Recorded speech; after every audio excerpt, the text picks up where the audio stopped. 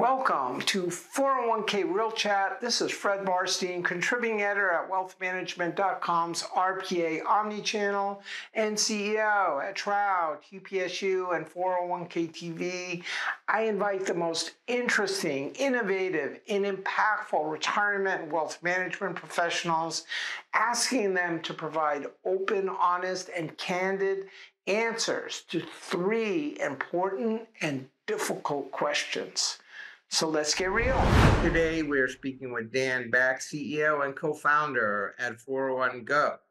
Uh, welcome, Dan. Hey, Fred. Thank you. I'm excited to be here.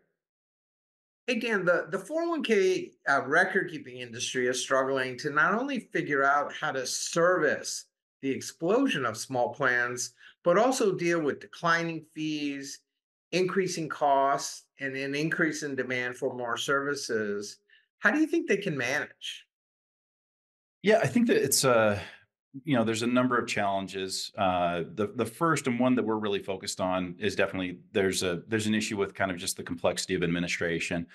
Um, so a lot of the the platforms that are being used today by your um, you know incumbents in the 401k space, these are platforms that were built 20, 30 years ago and have been um, upgraded over time, but in many ways the the technology is still very dated. And so uh, at 401Go, we have the benefit of, of being able to use um, modern technology uh, to, to, overcome some of those obstacles. And the whole idea there is to reduce a lot of the administration and the, the complexity that's associated with a 401k.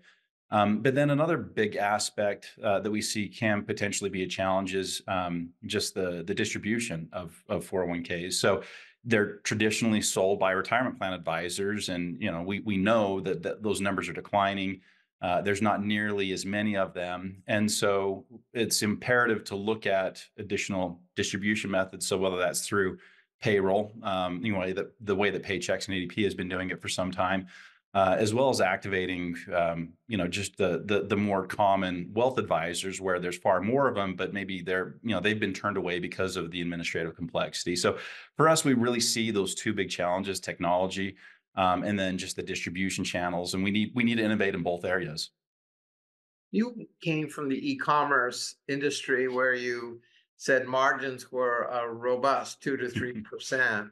Um, what lessons um, that you learned are transferable to the 401k industry? I love how you've um, you've used this analogy before, where we're going to be judged not by other financial institutions or services being offered by like your traditional incumbents, but more the experience we have with like Amazon and Venmo, um, and and that's really where my background has been is in in a space uh, where you're expected to have a very competitive price and products delivered in in you know a, a few days, if not hours and so I think a lot of those um, same demands are, we're starting to see them show up more in financial services. There are those expectations. And so if we can deliver on those expectations, then we're going to hopefully deliver better outcomes and the experiences that those individuals want. Um, for us, in order to you know be able to survive on a two to three percent gross margin, we had to have extensive amounts of automation when it came to transactions. So uh, we built very large, complicated ERP platforms um, that would manage uh, catalogs of products. Uh, it would automatically handle shipping and distribution. And so we took, again, you know, commerce and, and distribution is, again, it's a very, it can be a complicated product, complicated industry. And by leveraging information, um, you know, the same way that Amazon and these other big e-commerce platforms have, uh, we're able to survive on a on a small margin. And so we've taken a lot of what we learned there, and we're applying it here within uh, the financial services industry and retirement in, in particular. So you started 401Go in 2019, recently raised 12 million Series A funding. Congratulations. Uh, what niche do you see 401Go filling? We focused first and foremost on the small and micro market. So those uh, startup plans um, or plans with you know uh, lower headcounts and uh, less assets. And the reason why is because that's always been you know if you're a financial advisor, a retirement plan advisor, and you're selling 401ks, your your compensation is largely tied to assets. And so the the challenge with these startup or these small plans is they're they're low in assets, and so there's just really no appetite uh, for those advisors who are kind of the, the tip of the spear when it comes to distribution to go down market. And so by, you know, building a platform where we can automate a lot of those functions from plan setup to the ongoing administration, it reduces that hurdle, that that uh, hurdle um, for those advisors to where they can now stand up a plan in a matter of minutes. Um, and so for us, we've we've been able to help close that access gap uh, but we're, you know, as a fintech, uh, one thing that we've decided from day one is really how do we also still involve the financial advisor? So that was kind of a big question mark is can we deliver an effective solution that can be delivered at scale, but also have that human element and work with advisors that traditionally may only go after two or three plans a year? Um, how do we help them kind of deliver at scale? Uh, and so that's really been our focus is just that that small to um, medium sized business and we felt that if we can provide a good solution for that that can also scale up. And so we do have advisors now that are bringing us plans which we consider very large. You know the industry may call them small still but we're looking at plans you know over 20 million in assets thousands of employees.